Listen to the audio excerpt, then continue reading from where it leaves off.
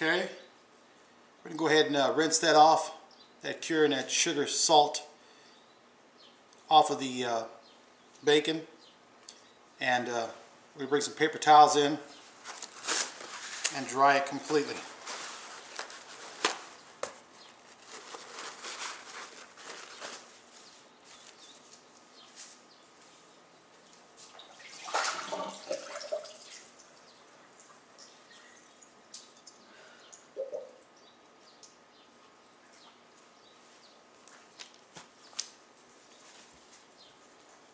As you can see here, trimmed away most of the fat.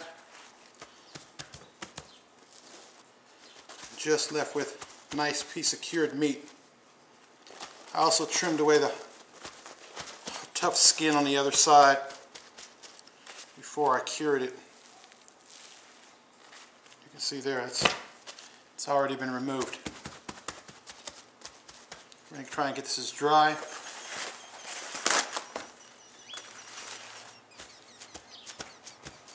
as we can. I suggest you use a good paper towel because if not, it sticks to the meat like crazy. Been there, done that. Okay.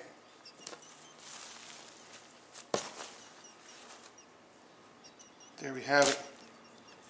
All loose fat and stuff has been removed. See, it's a nice cut of bacon. Looks good. It's firm to the touch. And uh, we're ready to go.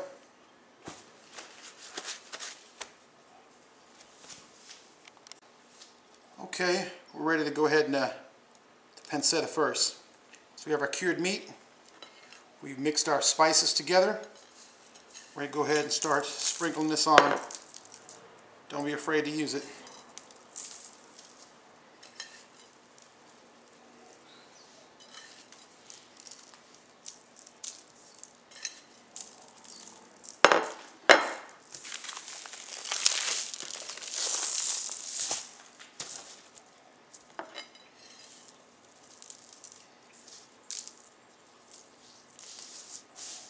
Massage that into the meat.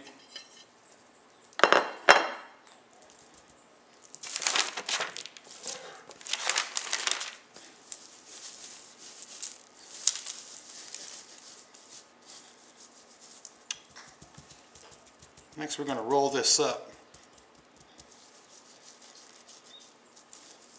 Keeping the spices as much as possible inside the roll, but also we're going to roll it up and try and get it as tight as we can where there's no air inside because with air and moisture can cause it to mold even though it's been cured. We don't want that. So you can tie it up. You can't tie it up too tight. So as tight as you possibly can get it. We're going to try and do this. The last time I didn't get it too tight. So we're going to try a different little technique today, okay? Okay, here we go. We're going to try, I tried it all different angles. This one looks about the best one before I went back on camera.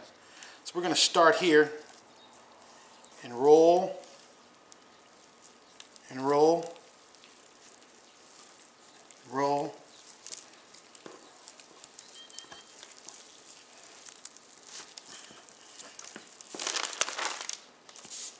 Right there. We're going to tighten this also with some twine.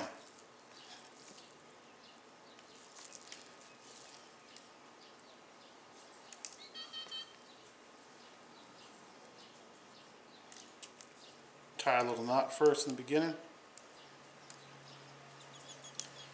Then we slip it under. Start in the middle. Over. Round.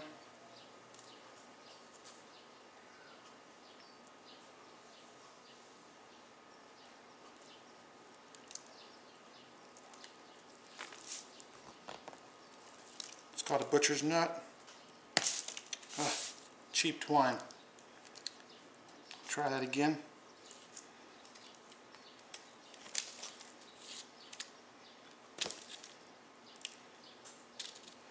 Maybe we'll try it with a little, this twine twice. we're going to double the twine since it's not as strong as it should be. I'm going to go around once, back through here, grab the nut, then as tight as you can get it.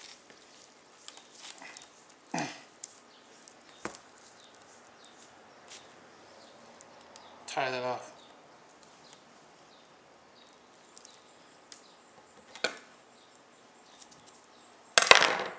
That's one. That'll hold it while you get the rest of them done. So we're going to pause and get a few done. Okay, here we are with my version of the wrap. We've got them spaced about an inch apart. And next we're going to, you can either put it on a meat hook and hang it on this uh, stainless steel meat hook uh, in a temperature of around, around about 55 degrees.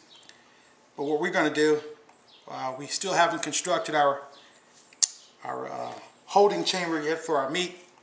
So what we're to do is we're to hang it in the refrigerator with a small pan underneath it for about uh, two weeks. And we're going to tie it up so we can actually uh, hang it inside the fridge. Okay, we'll come back with Just that. go up to the top here, come down,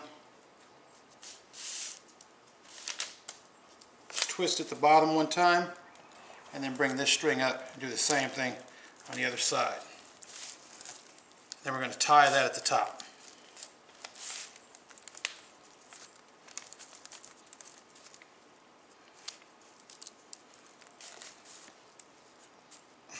Get you to put your finger right there, Eric. Right here? Turn it right on the nut, hard as you can. Hold it tight. Okay.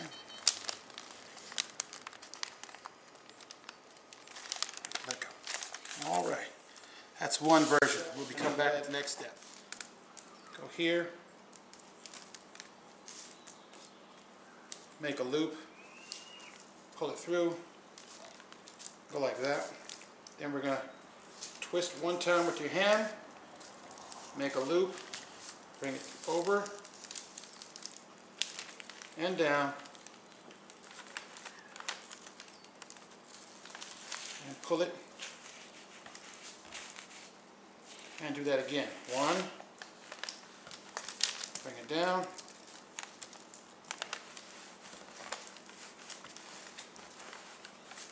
then again, over, around, and pull. Try and keep them as even as possible. Looks pretty. It's all done. Then we have top ones. Just going to go ahead and tie that one off with that.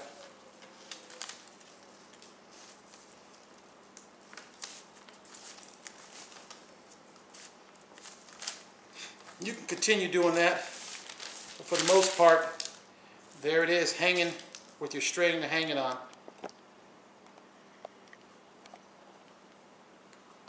Okay, here's where we're going to be storing the uh.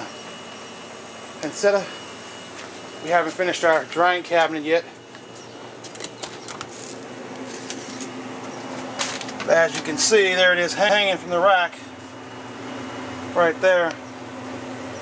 We'll allow it to stay there for a few weeks so it dries out then we'll show you what it looks like or keep you up to date of the progress of it. There you have it. those are the beer kegs. Siberian Crude Stout. Alright, there it is. Until next time.